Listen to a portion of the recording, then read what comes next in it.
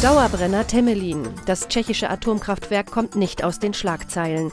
Eine erneute Panne im Kühlkreislauf, die erst Wochen später bekannt wurde, bestätigt jetzt die Sorgen Oberpfälzer Atomkraftgegner und lässt Politiker wie Bürger fragen, wie lange müssen wir uns das noch mit ansehen?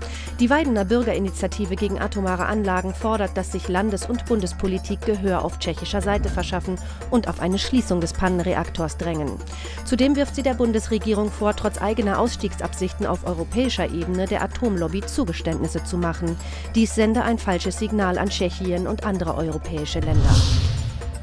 Ein Wasserrohrbruch überflutet diese Woche einen Teil der Fikenscher Straße in Marktredwitz im Landkreis Wunsiedel.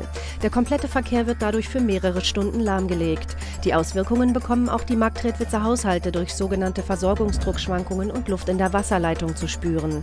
Eine halbe Stunde dauert es, bis der Wasseraustritt gestoppt werden kann. In dieser Zeit sind rund 500.000 Liter Trinkwasser ausgetreten. Nur noch drei Wochen, dann beginnt erneut das Münchner Oktoberfest. Jetzt wurde der offizielle Wiesenmaskrug vorgestellt. Im Hackerzelt präsentierte Kabarettist André Hartmann das Sammlerstück in limitierter Auflage. Der Krug wird von dem offiziellen preisgekrönten Motiv der Wiesen 2015 geziert. Entworfen hat es der Münchner Student für Kommunikationsdesign Akim Semmer. Ein modernes Design, das die Verantwortlichen bei der Auswahl überzeugt hat.